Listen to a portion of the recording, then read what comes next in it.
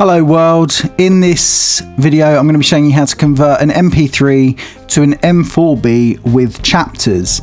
You're going to need uh, three bits of software, so you're going to need iTunes, you're going to need QuickTime Player, and you're going to need a program called Chapter and Verse. Uh, you need quick, you need the QuickTime Player because Chapter and Verse won't run without QuickTime Player installed.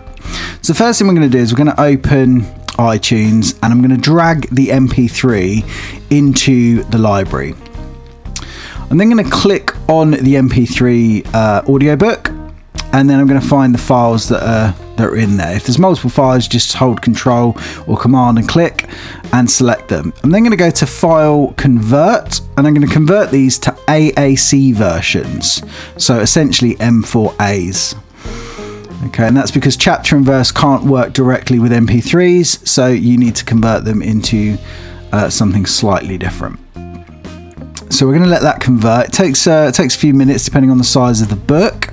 Um, I don't advise piracy of any kind, so these are books that I have either in Audible um, or that I have uh, encoded via CD from old collections that I have. I'm very much into audiobooks, have been for years, so do make sure you have a copy of the audiobook. So, the reason you might want to do this is that um, you might want to play it on a different device onto an MP3 player or even via a different app.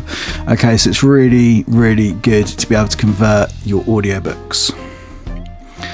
Okay, so we're going to let that finish, and once that's done, I can show you how we uh, convert this in chapter and verse.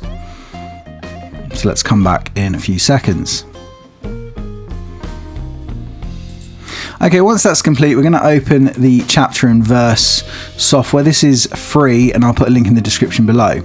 We right click on the AAC version, click Show in Windows Explorer and you'll see here if we check the file extension we now have an M4A and we can drag that to our desktop. Close that down and we can actually delete that out of our library now. So delete from library and delete songs. We can then delete the MP3 and we're just going to drag in the M4A into chapter and verse and that loads it up. Now the problem is it doesn't have chapters at the moment, so I'm going to show you how to do that now.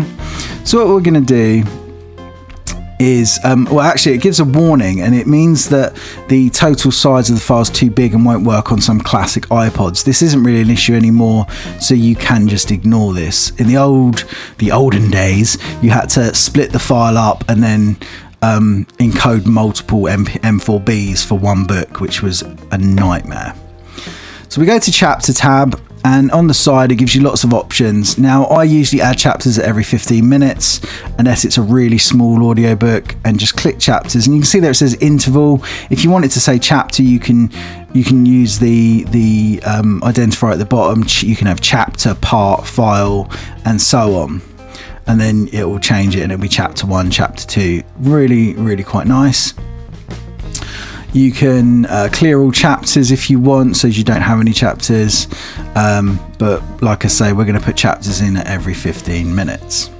And then all you need to do is um, you can go into the metadata tab and you can add the artwork. So if you're missing artwork from your audiobook, you can download that in a JPEG and just drop it onto that square there.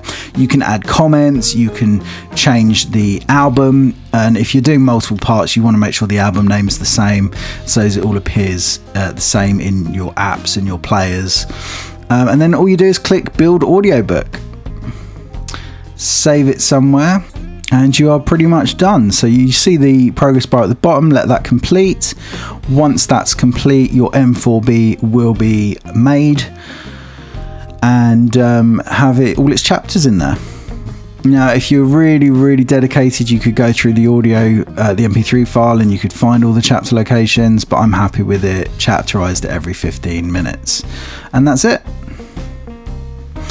Just remember that if chapter and verse doesn't run, it will be because you don't have QuickTime Player installed. So do make sure you have QuickTime Player installed.